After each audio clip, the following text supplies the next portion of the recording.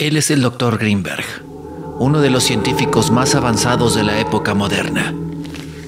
Jacobo Greenberg desarrollaba estudios que conducirían a una nueva forma de ver nuestra realidad, pero desapareció misteriosamente el 8 de diciembre de 1994, justo cuando su investigación estaba a punto de concluir, iniciando así uno de los misterios más grandes de la historia moderna. ¿Qué fue lo que le pasó al Dr. Greenberg? Esta es su historia. Yo soy Julián Caballero. El mundo entero y sus historias caben en este pequeño rincón. Gracias por visitarme. Nacido en la Ciudad de México, Jacobo Greenberg Silverbaum decidió estudiar la mente humana cuando tenía apenas 12 años y desde entonces comenzó a explorar el mundo del cerebro luego de que su madre muriera. Una experiencia que le habría puesto a pensar qué es lo que sucede luego de lo que conocemos como la muerte. Su madre habría muerto de un accidente cerebrovascular.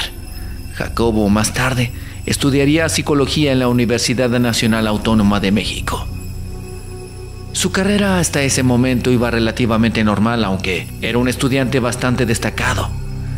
Así, en 1970, viajaría a Nueva York para estudiar psicofisiología, conocida actualmente como neurociencia cognitiva, una rama de la ciencia estudia cómo la actividad psicológica produce respuestas fisiológicas, algo que le estaría acercando poco a poco a una conclusión que más tarde le resultaría impactante no solo a él, sino a todos los que le han estudiado. Su estudio en el Brain Research Institute le condujo a obtener un doctorado enfocado en los efectos electrofísicos de los estímulos geométricos en el cerebro humano. Luego de haber permanecido allá en Nueva York con la finalidad de expandir su conocimiento y así, a su regreso a México, fundaría un laboratorio de psicofisiología en la Universidad Anáhuac. Su carrera iba en ascenso y todo parecía funcionar a la perfección, tanto como en sus investigaciones como en su vida personal.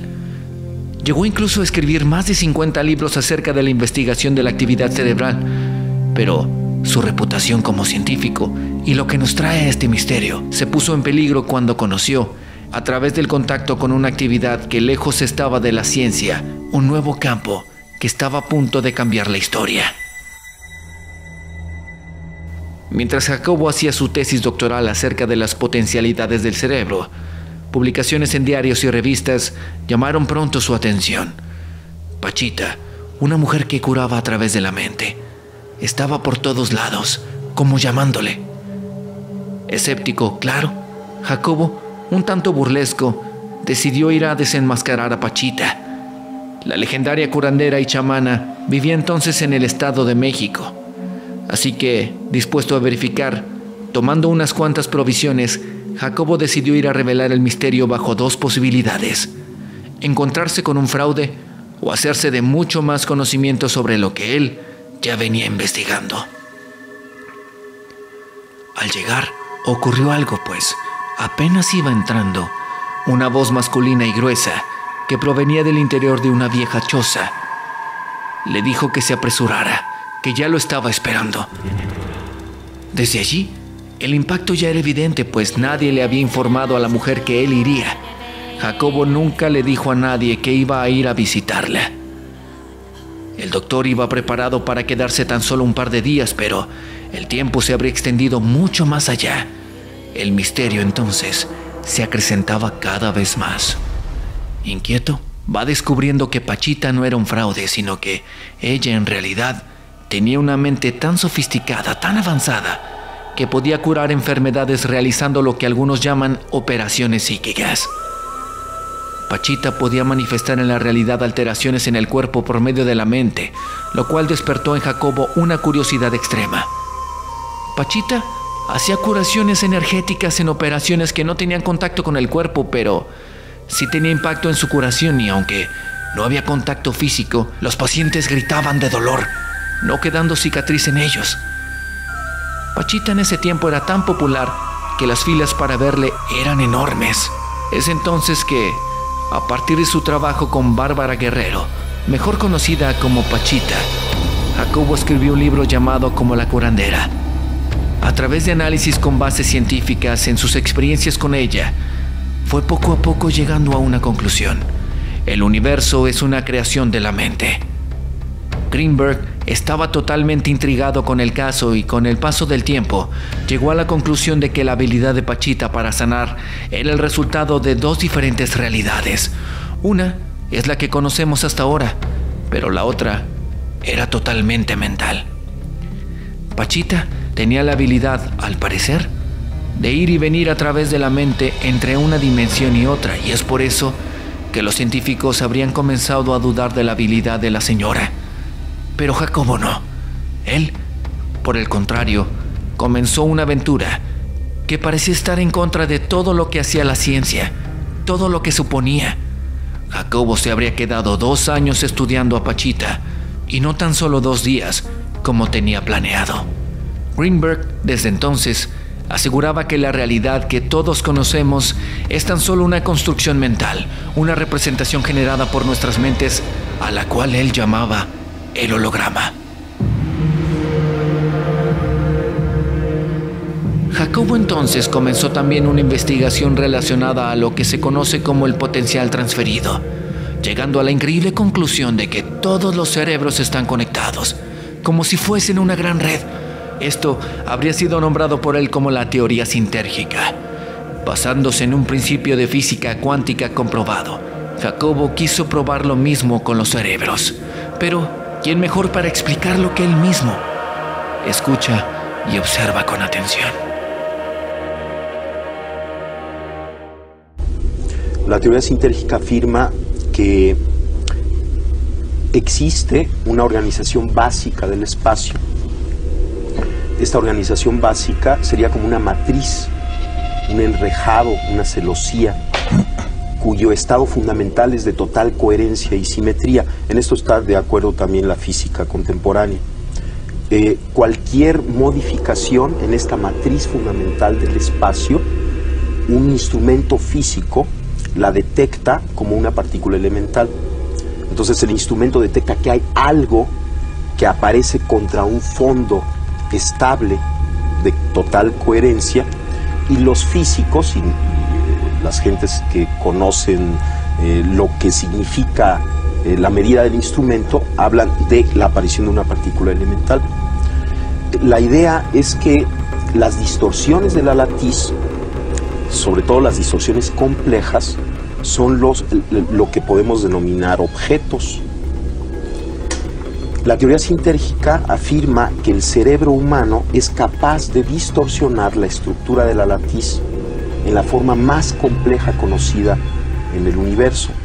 Y esta distorsión compleja de la latiz constituye la realidad perceptual. De tal forma que cada una de las eh, actividades neuronales constituye una micro distorsión de la latiz.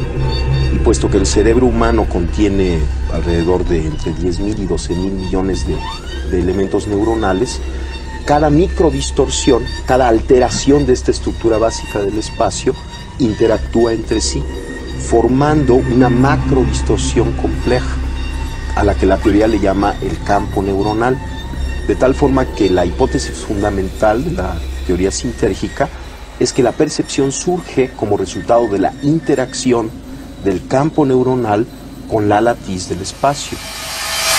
A partir de todo lo dicho, llegó a la conclusión de que podíamos estar viviendo en una Matrix, un holograma del cual tenías la capacidad de salir, y al momento en el que eso sucediese, se podría ir al pasado, al futuro, cambiar una y otra vez la realidad. Eso habría sido el principal motivo de inquietud por su misteriosa desaparición.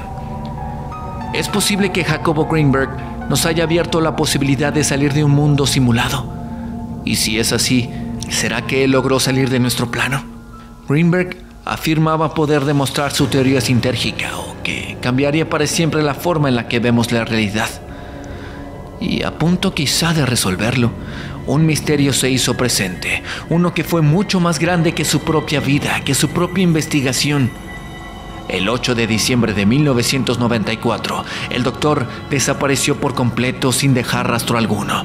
Simplemente se lo tragó la tierra. Greenberg de pronto desapareció sin dejar rastro, pero en él era normal estar ausente. Además de que en aquellos días los medios de comunicación no eran tan inmediatos como ahora. No había manera de comunicarse con alguien si no fuese exclusivamente por teléfono o correo. No existían las redes sociales. El Internet apenas era algo nuevo. Así que, sabiendo eso, el 12 de diciembre su familia prepararía una fiesta en su honor para celebrar su cumpleaños número 48, pero, como se esperaba, nunca se presentó. Como ya he dicho, al inicio su desaparición no fue extraña, y es que él tenía la costumbre de no contestar el teléfono por días o simplemente hacer viajes de último minuto y no estar en contacto con nadie por un tiempo bastante considerable.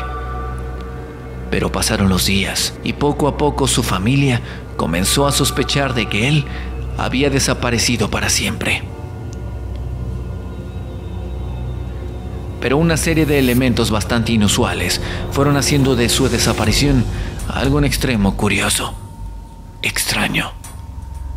A punto de demostrar su teoría, el doctor Greenberg desapareció por completo y al momento comenzó un gran enigma. Se afirma que la última vez que el doctor fue visto estaba acompañado por una mujer morena llamada Teresa Mendoza, siendo su última pareja quien además le acompañaba en todo momento y quien también resultó ser un misterio con el paso del tiempo.